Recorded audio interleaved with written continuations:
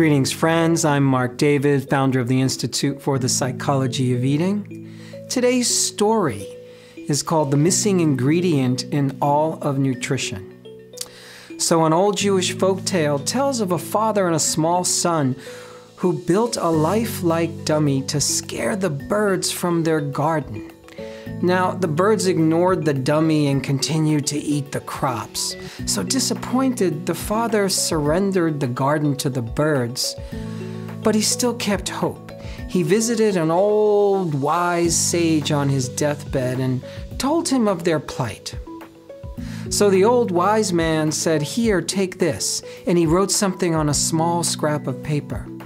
On this paper is written the name of God, he said place it in the dummy's mouth, and your garden will be saved. Well, the boy dashed to the garden, took the piece of paper, placed it in the dummy's mouth, and instantly the dummy comes to life. And of course, the birds scatter, the dummy jumps off of his pole, and lo and behold, it begins to tend the garden with the skills of an expert farmer. The townspeople soon discovered the miraculous dummy could also build houses and plow fields and even sing and dance. And when approached with questions about the nature of life, the dummy spoke with great wisdom, softening the hardest hearts in the village. But alas, the townspeople grew a little lazy and they wanted the dummy to work rather than teach. They would pull at his arms and legs, saying, Come plow my fields. No, come fix my house. No, come mend our clothes. And in all the scuffle, the piece of paper with the name of God falls from the dummy's mouth. And immediately the dummy collapsed into a lifeless heap. Well, the most skilled craftsmen were summoned, but none could bring the dummy back to life. Then one of the villagers exclaimed, Something has to be missing. Some vital piece of the dummy must have fallen off as we wrestled with it.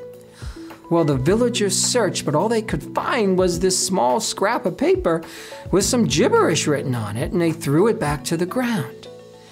Sadly, the little boy picked up the piece of paper and he placed it in his pocket. And as he walked to the garden, he heard the distant voices of the townspeople saying, Something is missing. Something's missing. Well, in my own personal search for a coherent and wise approach to nutrition, amidst all the conflicting theories, I realized for me that the missing ingredient in most dietary systems was a spiritual context, a way to see the sacredness and the interconnectedness of all things. We are more than just a body, more than a tongue, more than an assortment of nutritional requirements. We're a soul clothed in the elements of the earth, journeying in a realm where matter and spirit unite in human form. The body serves as a sacred vessel fashioned through millions of years of evolution to carry the spark of life.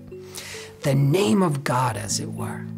And without that little piece of paper in our mouth, we're kind of nothing more than a dummy, just a lifeless collection of elements. Food is not merely something we eat, it's a ceaseless reminder that we are mortal, earthbound, we're hungry, and we're in need. We are bound by a biological imperative that forever keeps us returning to the soil, the plants, the animals, and all the running waters for replenishment. Eating is life.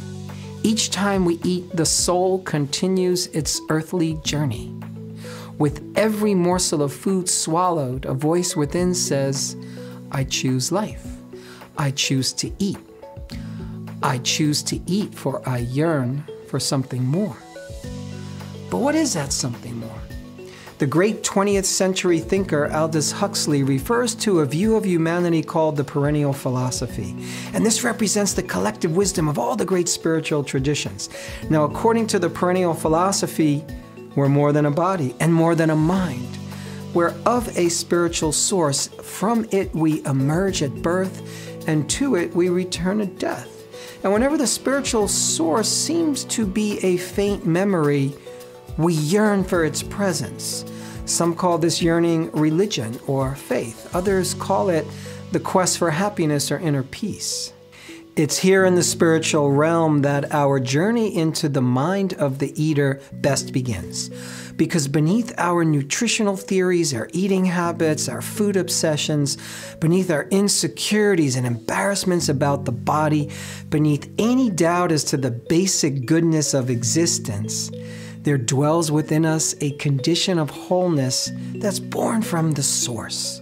This is not a state of pristine perfection and eternal comfort where all our problems disappear and we wallow in some kind of meditative mush. It's a condition of timeless identification with something greater, where life and death and pleasure and pain, success and failure, happiness and discontent are met with a kind of equal acceptance. It's a state of equanimity where we feel fully human, alive, and in love with life no matter what happens. According to the perennial philosophy, human beings are separated from the spiritual source for one reason and one reason alone. We believe we're separate. Each one of us holds the false belief that somehow I'm not connected to all of creation, I'm alone, and I'm not enough. And consequently, the state of wholeness exists only as a potential within us. And though it lies buried like a dormant seed, all beings instinctively intuit its existence. So, according to the perennial philosophy, our purpose in life is to rejoin this spiritual source and embody it here and now. This is the something more we continually seek. So, with this perspective, perhaps nutrition could be seen in a new light. Placed within a spiritual context, the ultimate goal of any dietary approach is to take us fully into the body and beyond the body. That is, by taking us fully into the body, our dietary system ought to enable us to experience all the good benefits of food and good health and the delight of eating and the fulfillment of our nutrient needs. But by taking us fully beyond the body, our dietary system must serve to remind us that we're feeding more than just a body. Nutrition not only keeps us healthy and attractive, it maintains us and the body as a vehicle in service to something greater. By nourishing the body with joy and reverence, we nourish the spark of life within the body. And when the body yields to disease and decay, which no amount of veggies or vitamins can prevent, we're left with the knowledge that good nutrition is important but can only take us so far. The deeper nourishment that sustains heart and soul is what ultimately matters most. I hope this was helpful, my friends. To learn more, go to psychologyofeating.com. The Institute for the Psychology of Eating offers the most innovative and inspiring professional trainings, public programs, conferences, online events, and much more.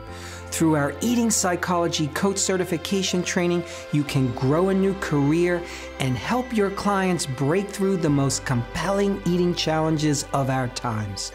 If you're focused on your own eating and health, the Institute offers a great selection of one of a kind opportunities to take a big leap forward in your relationship with food.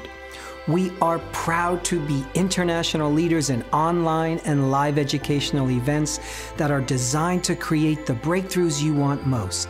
Our professional and public programs are powerful, results oriented, and embrace all of who we are as eaters. I'm talking body, mind, heart, and soul. For questions, you can always email us at info at psychologyofeating.com. We'll be sure to get back to you real soon.